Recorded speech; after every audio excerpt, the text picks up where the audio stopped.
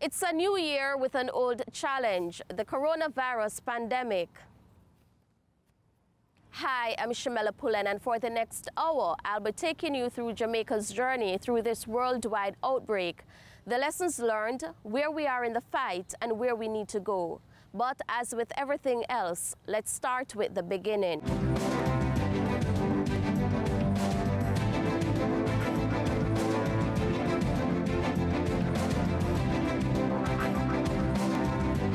The virus was traced back to this now closed seafood and meat market.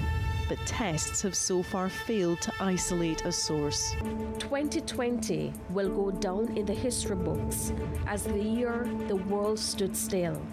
Restrictions on movement, death, despair, crippling economies, frustration, panic, wonder, all caused by the coronavirus, a disease which brought the world to its knees. Two years in, and the battle to contain the spread continues.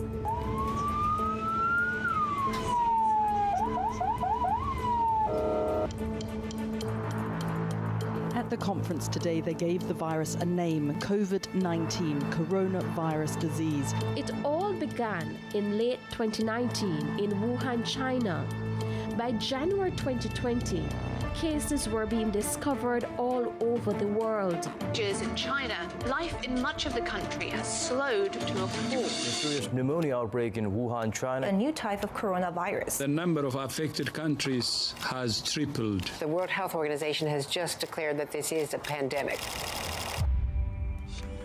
Jamaicans watched closely as hospitals in Europe and the United States exploded with sick people.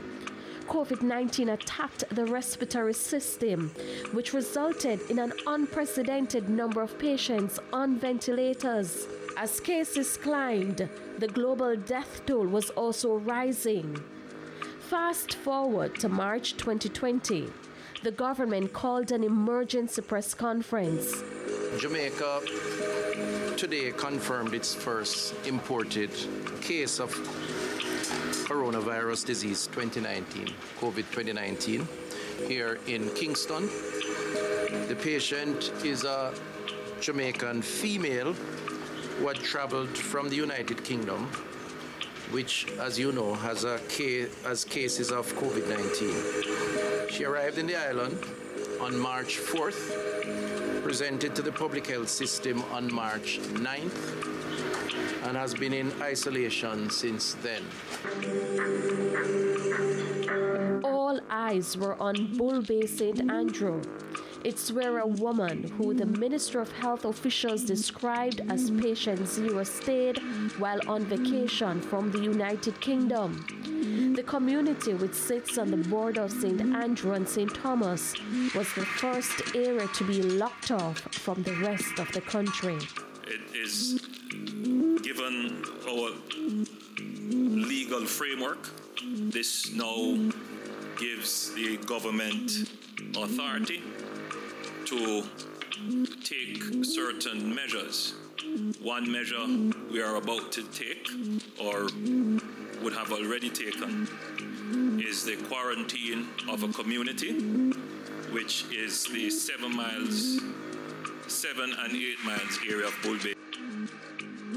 But frustration was all around. Big propaganda them are spread from the whole away from where they are. Black people are in a taxi. See we are drive bus non-stop that's all. No taxi.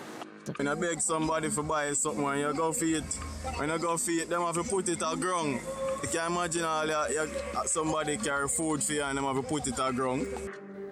Days later, on March 19, 2020, a second community was under quarantine. This time, Corn Piece Clarendon, where the country's first COVID 19 related death was reported. It's believed the victim returned to Jamaica from New York days before falling ill. In the blink of an eye, infections started to rise.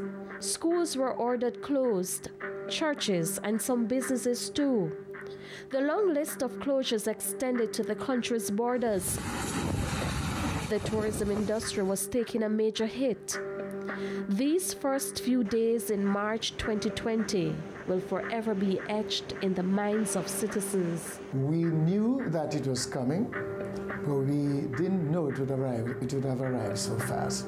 And at the time, I said that this to me is greater than 9 11. It clearly became a lot more urgent and, and, and, concerning because you have a population that is unaccustomed to a virus. You see what is happening elsewhere in the world where people are dying. You know there are going to be casualties. You know that public health is going to be in the spotlight. You know that we're going to be scrutinized and a lot would be expected of us. And of course, being the Minister of Health, being on the bridge, you know, all of that burden starts at the top.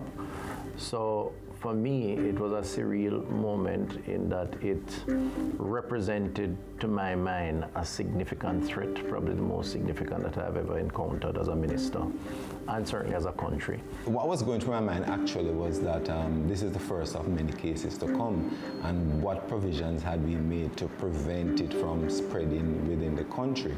And no doubt, my concern was that um, prior to it being diagnosed, um, how many other persons would have, have contracted COVID 19. So I thought then that we were in for a rough ride.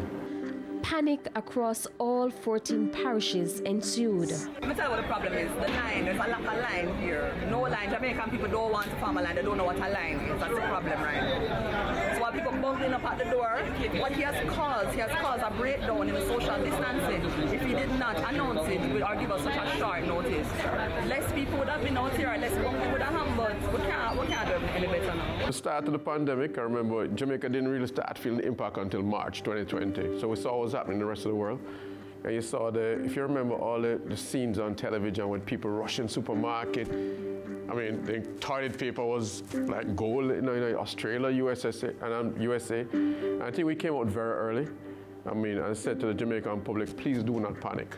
I mean, we, we can supply, especially the food supply. We were in a position to supply. I mean, we're on the television, we're in the media. And I think that helped to calm things down. So in Jamaica, while there was, you know, some amount of, of stocking up pantry, what we call pantry loading, people did not panic here the way we saw in other countries. Then there were questions about the government's readiness.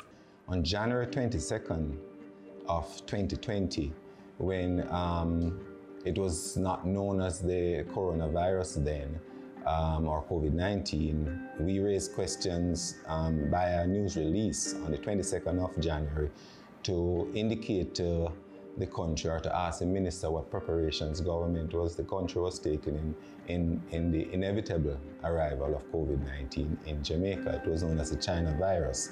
Um, but when it arrived, our first case in March 20, on March 10th, when it was announced um, from the lady who came from England, um, the, the concern was, um, was were we properly prepared for it? The security forces were also on standby. We were well prepared. We started looking at our policies. How is it that we were going to treat our, with our members? A lot of them were overseas at the time. What mechanism were we putting in place for them when they returned to, to the island? If we have a COVID 19 situation at a particular station or location, how do we treat with that?